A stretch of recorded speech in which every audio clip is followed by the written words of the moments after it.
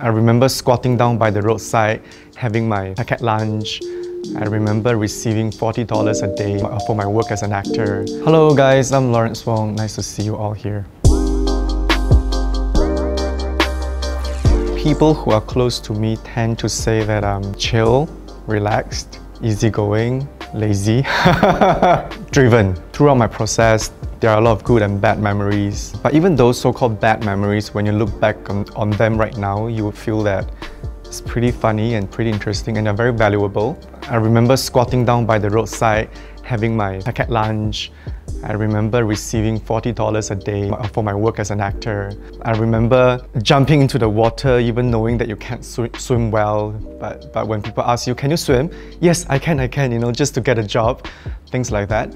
I mean, all these are, are really good memories for me as I, as I think back. I think I'm more at peace with myself.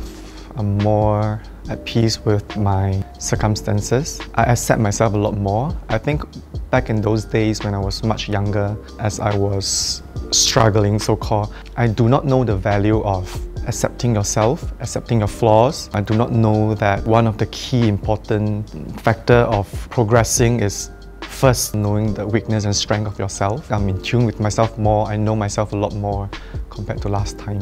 They do actually, but honestly I don't really go out much in China. Most of my time is spent working.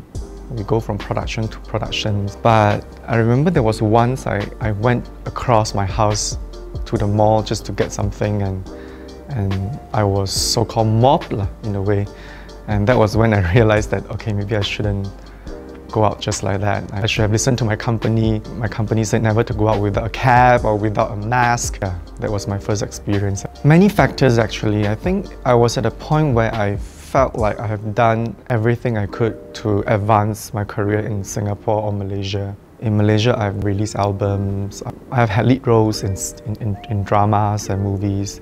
In Singapore, of course, it wasn't as smooth for me back then. It was just at a point of time where I felt like I have a lot of things to give, but no, no, no place for me to show what I can give. So going to China was sort of like my last hope. Oh, I'm going to go to China and try for two years. If I can't make it, I can't make it. I'm just going to do something else.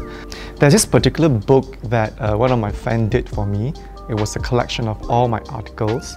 Um, it was from a China fans, but somehow he managed to get articles from Hong Kong, China, from Singapore, from Malaysia as well.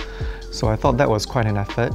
I have fans who, who got the same tattoo as me on, my, on, on the wrist.